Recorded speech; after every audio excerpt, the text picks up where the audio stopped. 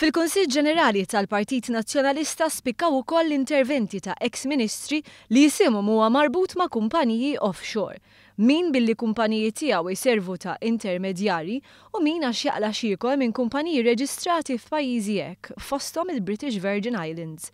L-eks Ministru Tonio Fenech li kien ġimagħtejn ilu li sar magħruf li huwa direttur f'kumpaniji rreġistrati f'pajjiżi li l-Kap tal-Oppożizzjoni ddeskriva bħala maħmuġin qal hekk. Il-fatt hu li jiena, iva fil-professjoni tiegħi għandi dritt. Anke Francis Zammit Dimech qal li m'hemm xejn ħażin. Kumpanija li kellu sehem fiha hu issemmit f'Panama Papers, iżda ladarba nvolut hu, din hija intimidazzjoni.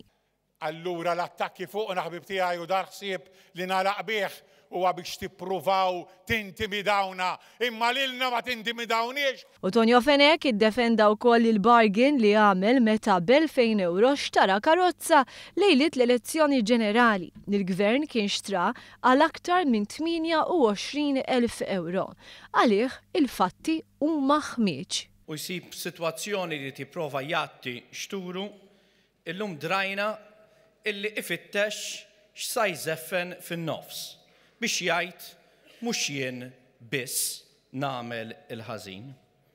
U naraw kif iżeffen isem wara l-ieħor biex jgħatti xturu.